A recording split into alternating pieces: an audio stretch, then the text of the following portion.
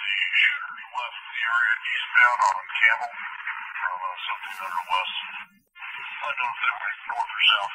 33 Marriott, we caught it. It sounds like it was the same cars that uh, we suspected originally. It's been a number three in the area.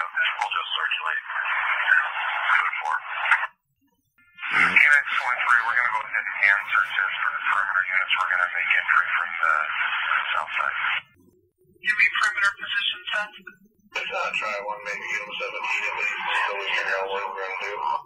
714, we started calling so late in the get into the house. He was definitely in the garage, but testing in the house also before he made that decision.